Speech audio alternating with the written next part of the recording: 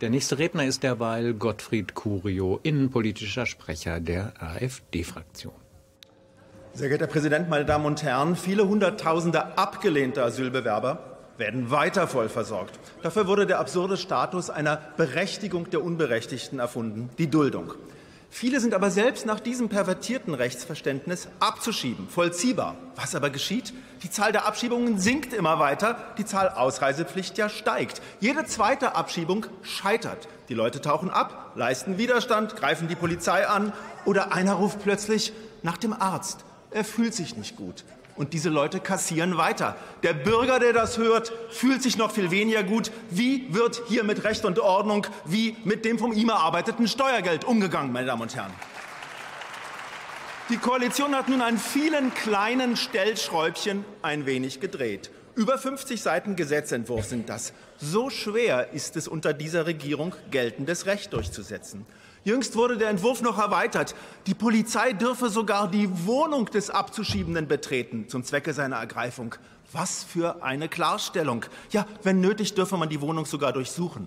Was für harte Jungs wir doch im Innenministerium haben.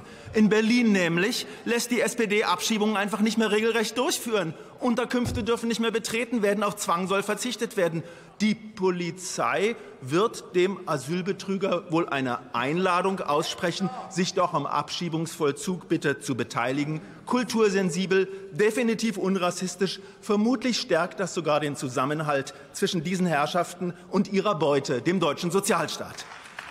Es fehlt aber am politischen Willen, tatsächlich die Hunderttausenden Unberechtigten wieder aus dem Land zu bringen. Stattdessen belässt das neue Duldungsgesetz die Abgelehnten durch Spurwechsel im Land. Man ist dann mal in Ausbildung. Und Abschiebungen scheitern oft, weil die Personen gewarnt werden. Reaktion im Gesetzentwurf, weitgehende Straffreiheit für das Durchstechen des Termins. Das Gesetz lässt seine eigene Vereitlung straffrei.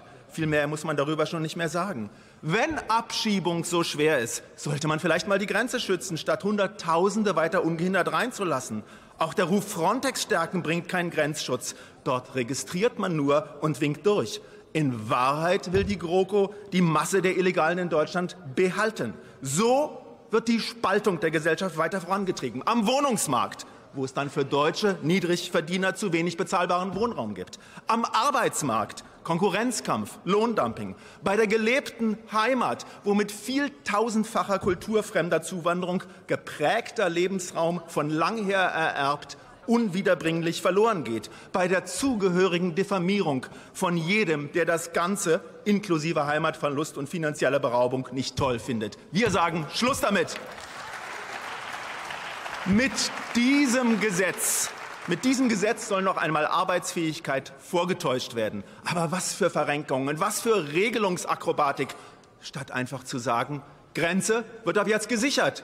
16er Grundgesetz gilt wieder. Syrienkrieg ist aus. Bei Kriminalität Ausweisung, für schutzbedürftige Sachleistungen, Integration in Richtung Heimatland. Doch nichts von alledem.